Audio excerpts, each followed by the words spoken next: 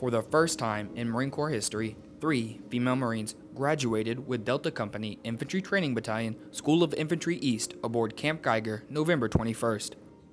Uh, I think it also has demonstrated that uh, there are a number of uh, highly qualified female Marines who are capable of meeting the existing standard for training at the Infantry Training Battalion currently.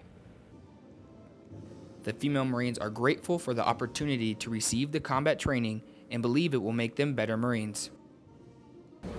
The extra training, uh, it's very valuable, especially since women now, even if they're in non-combat MOSs, may see combat. It's, it's very valuable training. During the 59 day course, it ultimately came down to the mindset the Marines had of staying committed to their goal.